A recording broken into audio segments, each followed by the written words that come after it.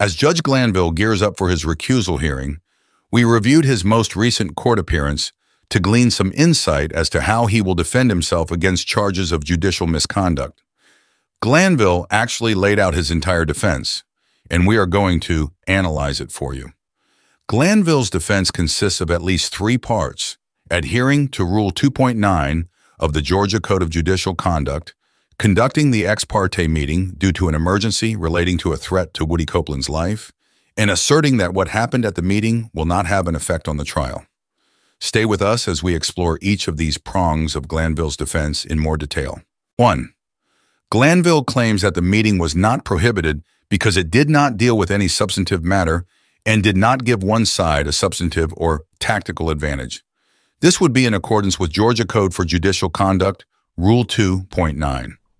Um, as to Mr. Steel's first assertion of uh, whether or not the court held an improper ex parte meeting or hearing, the court is guided by Judicial Code of Conduct 2.9, uh, which I'll take judicial notice of, which um, in pertinent part where circumstances require ex parte communications are authorized for scheduling, administrative purposes, or emergencies that do not deal with the substantive matters or issues, provided that the judge reasonably believes that no party will gain any procedural, substantive, or tactical advantage as a result of the ex parte communication, and the judge makes provisions promptly to notify all parties. Uh, The substance of the ex parte communication and gives the parties an opportunity to respond. And in this particular circumstance, the transcript of these proceedings was just was just prepared uh, and is final by my official court reporter, Ms. Weaver. Additionally, under Rule 2.9, Glanville seems to believe, since he has released the transcript for the meeting, before putting Woody Copeland back on the stand, he has given the defense timely notification of what happened during the meeting. 2. Glanville suggests that the ex parte meeting was conducted as an emergency after Mr. Melnick expressed concern that someone may kill Woody Copeland. Glanville cites a court case, the United States versus Adams, to support this contention. I'll address the issue of, of the of the emergency nature of this particular hearing or this particular uh, conference in front of the to the court. Is that the uh, this involves the state's concern as to what Mr.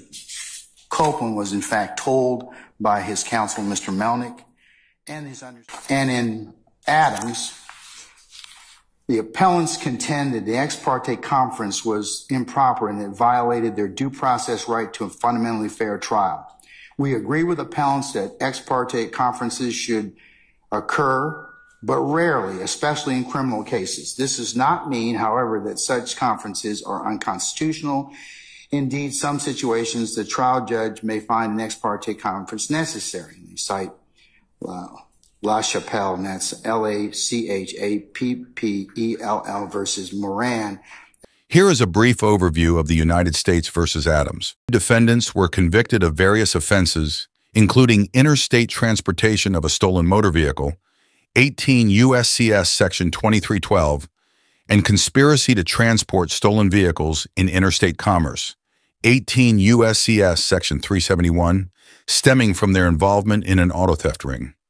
On appeal, defendants did not challenge the sufficiency of the evidence to support their convictions, but rather asserted that an ex parte conference between the district court judge, the prosecutor, and a prosecution witness was improper and violated their due process right to a fundamentally fair trial. The court affirmed the conviction and found that the ex parte conference was appropriate under the circumstances, because the purpose of the conference was to discuss the witness's belief that he would be harmed if he testified. The court noted that at no time was the substance of the witness's testimony discussed and that the entire conference was transcribed by a court reporter. The court found that, although certain portions of the conference raised the appearance of impropriety, defendants were not prejudiced, and therefore no reversible error occurred. The court affirmed defendants' convictions because their due process rights to a fair trial were not violated by an ex parte conference between the district court judge, the prosecutor, and a prosecution witness. The court found that although parts of the conference raised the appearance of impropriety, it was not prejudicial to defendants and did not affect the fairness of the trial. Here Glanville also notes that transcription is an important part of conducting ex parte meetings, apparently insinuating that his own transcription of his ex parte meeting is in accordance with this principle. Glanville also cites LaChapelle versus Moran to further bolster his contention that case law supports judges, under rare circumstances, conducting ex parte meetings in order to protect witnesses. 3.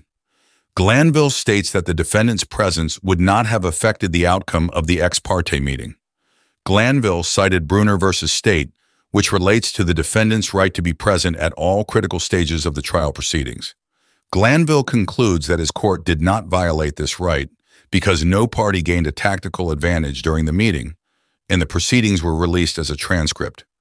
Glanville seems to indicate that the defendant's presence at the meeting would have been useless because the meeting was about questions of law and legal arguments. The court's also uh, considered Brewner versus the state. That's 302 Georgia at 6. And this relates to the right to be present and what, what, what, what is defined as a critical stage and under the Sixth Amendment. Brewner contends that he was denied the right under the Georgia Constitution to be present at certain critical stages of his trial proceedings Embodied within the constitutional right of the courts to a criminal defendant's right to be present, and see and hear all the proceedings which were had against him on trial before the court.